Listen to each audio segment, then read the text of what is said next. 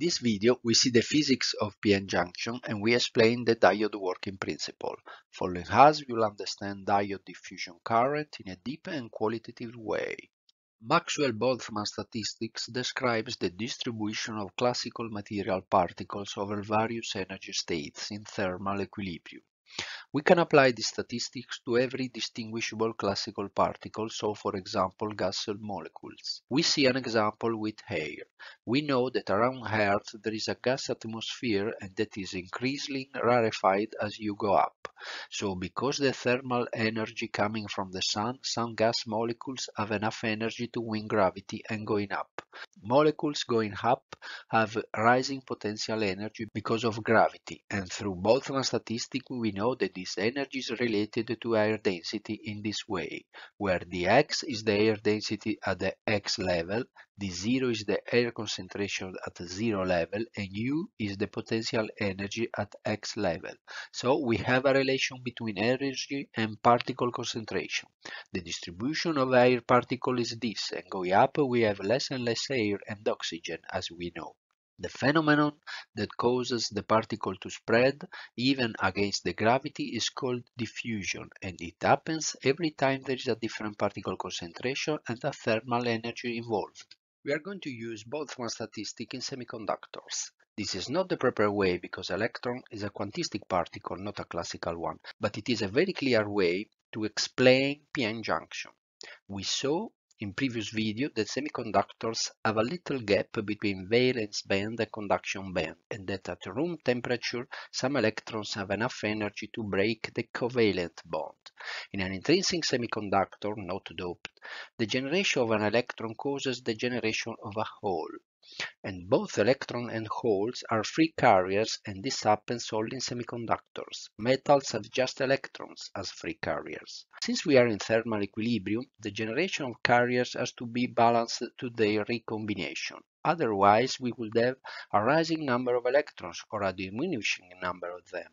The probability to have electrons in conduction band for Boltzmann statistics is proportional to e to the power of the energy gap divided by kT, where k is the Boltzmann constant and T is the temperature in Kelvin. The recombination rate has to be proportional to the product of electrons and holes. But in intrinsic semiconductor, every electron jumping into the conduction band creates a hole, so the number of electrons n is equal to the number of holes p, and we call this number Ni, or intrinsic carrier concentration. So p times n is equal to Ni to the power of 2, and this means that the recombination rate is proportional to the square of the intrinsic concentration in an intrinsic semiconductor. From what has been said, it follows that we have a relation between the intrinsic concentration Ni and the energy gap of the semiconductor.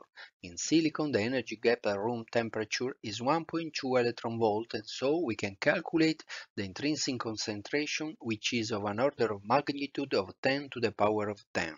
In extrinsic semiconductor, we put a dopant creating an extra electron in n-type and an extra hole in p-type. This atom is called donor and this one is called acceptor.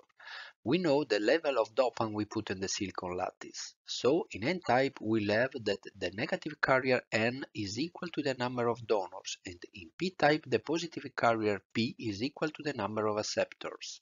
This because the dopant is an order of magnitude of 10 to the power of 15, so much more than carriers due to thermal energy. In extrinsic material also at thermal equilibrium, generation rate has to be equal to recombination rate. Recombination has to be proportional to p-n product and generation follows the same Boltzmann law of intrinsic silicon because doping doesn't affect the energy gap which remain 1.2 electron volt. So P times N has to be proportional to exponential of the energy gap even in extrinsic semiconductors. So remember that in intrinsic semiconductor Ni square is proportional to the same quantity, dividing the two equations we get that P times N is equal to Ni square. So in N-type we have that N is equal to Nd, so we can calculate the minority carrier P. And in P-type material we have that P is equal to the acceptor number, so with this formula we can get the minority carrier N. This relation in extrinsic, for example, n-type semiconductors, imply that if this is the intrinsic carrier at room temperature, 10 to the power of 10, and this is the level of doping, 10 raised to 15, the number of minority carriers has to be 10 to the power of 5. This because for low level of doping we don't change the silicon structure, so the generation level is the same, but we have much more N carriers which recombining can lower the P carrier of order of magnitude. So creating a p-n junction, we have an n-type material full of free electrons and a p-type material full of holes. But even in the n-type material, we have some free holes as minority carriers, and in the p-type, we have some electrons as minority carriers. If we see the concentration, we see that in n-type, we have a lot of electrons till the junction, and then the level of electrons drop. Similarly for the distribution of the holes. But if there is a different concentration of particles, they tend to go toward the less dense area for thermodynamic reasons. You can see mobile particles in the semiconductor have a stable carrier concentration, so a zero gradient, and uh, here statistically we don't have any movement of particles, but uh, at the junction we have a step and an infinite gradient, so diffusion starts. Some electrons in the junction go into the p-type material attracted to the holes in the covalent silicon-boron bond, and some holes go into n-type the region close to junction turns in a region where there aren't free carriers anymore, because all free carriers are bound to atoms and it is called depletion region. This region, as you can see, is electrically charged because the phosphorus atom without an electron is electrically positive and the boron atom is electrically negative, having one more electron in the covalent bond. This creates an electric field in the depletion region. So in the junction and only in the junction electrons and holes start to diffuse, thus creating a diffusion current. But where electrons and holes stick to the atom, a depletion region and an electric field is created.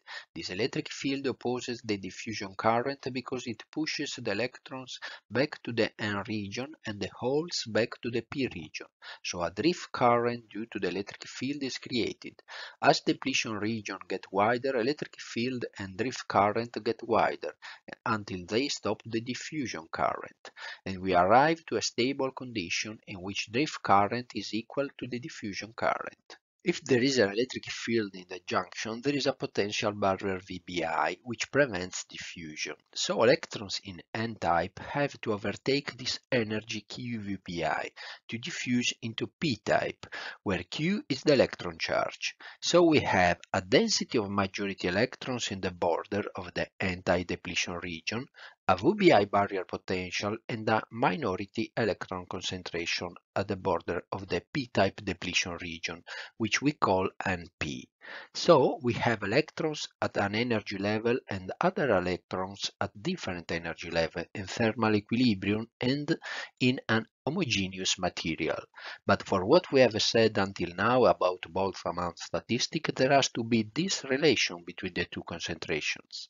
Remembering that an electron concentration in n-type region are equal to donors and that electron concentration in p-type region are equal to this, we get a formula with VBI depending on the dopant concentration and temperature. Solving it at room temperature, we get more or less VBI of roughly 0.7 volts. If we now create a diode putting on both sides two metal joints, we can apply a voltage VD on the device. The applied voltage has a direction which opposes VBI. Furthermore, the applied voltage drops almost completely on the depletion region because the two neutral regions are full of carriers, so they have a very low resistance. On the contrary, the depletion region has no carriers, so a high resistance. We have on the depletion region a new voltage VJ equal VBI minus VD.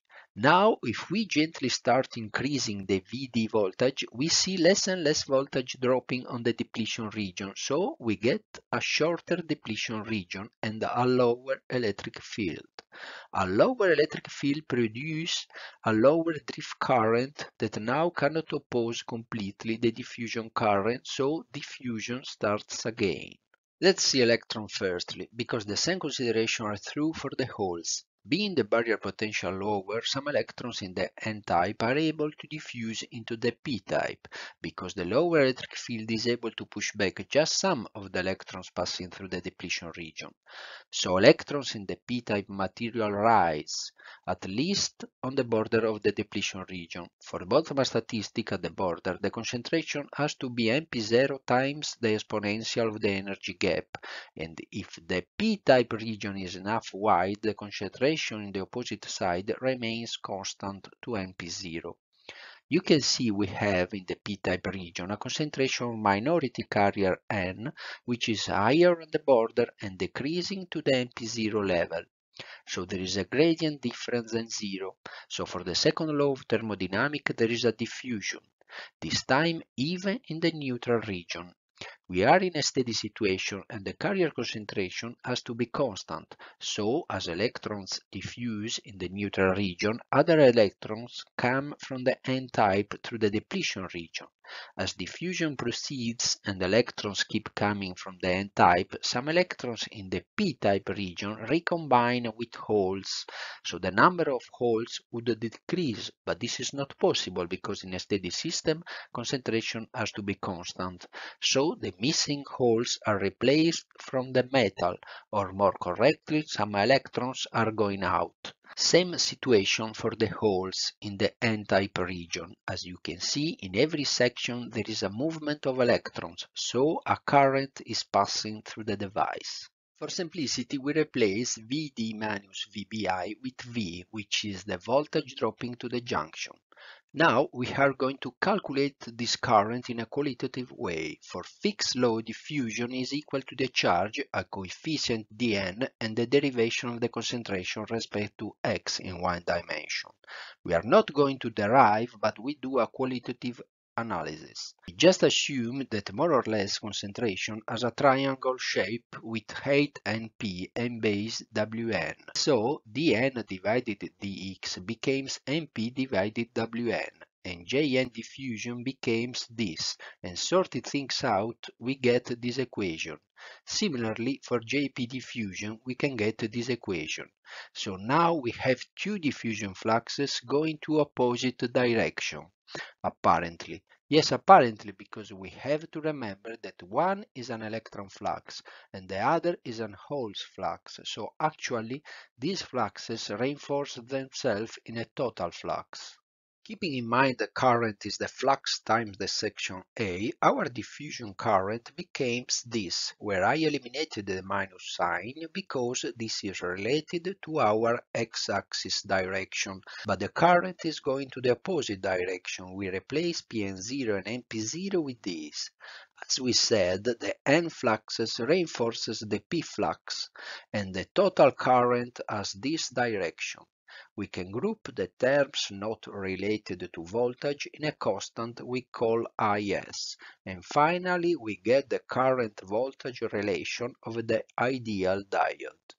So now we have the current voltage equation in the diode, which is this. The diagram is this. Look into this equation, you see that when V is high, the minus 1 is negligible and the current has an exponential trend. When V is lower than VBI, but greater than 0, the exponential part is comparable with 1, so the current is positive but very low, turning important when V is equal VBI as we saw previously. When V is 0, the current is 0 because VBI prevents the flow of current. When V is negative, the equation shows that the exponential part becomes negligible in respect to the minus 1, so the current this time is equal minus IS. The sign minus means that the current is flowing to the opposite direction and V this time has the same direction of VBI, so V this time reinforces VBI. The diode is working in the reverse mode. If we are in the reverse mode, VD doesn't oppose VBI anymore. but it reinforces it. So as depletion region gets wider, electric field also gets higher, opposing diffusion current completely, keeping just the drift current which cannot be so big because the electric field can just drift some minority carriers from a region into the other. We know IS from the previous equation and we note that it depends on Ni square, so it increases with temperature. As I said, this is a qualitative explanation. We didn't derive the current from the right distribution. If we had derived correctly, we would have had this equation, where Ln and Lp are the diffusion length of electrons in p region and holes in n region. Finally, the breakdown region. Increasing the reverse voltage, the few minority electrons from p-type gain large amount of energy and travel at very high speed.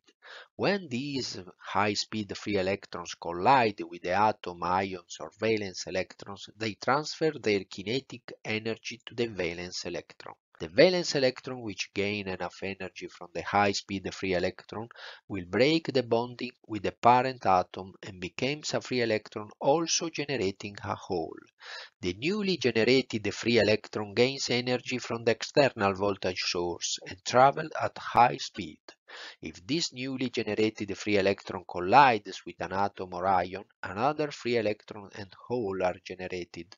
Likewise, a large number of minority carriers are generated with a few free electrons. This process is called carrier multiplication. In other words, carrier multiplication is the process by which collision of single free electron with the atom or ion leads to the generation of multiple free electrons and holes. This large number of minority carriers causes sudden increase in reverse current, which leads to junction breakdown. In other words, the sudden rise in reverse current destroys the motionless carriers region or depletion region. This phenomenon, which causes the depletion breakdown or junction breakdown, is called avalanche breakdown. Please leave me a comment and let me know if you liked this video. Make sure you put that thumb up, click the notification bell and subscribe to my channel.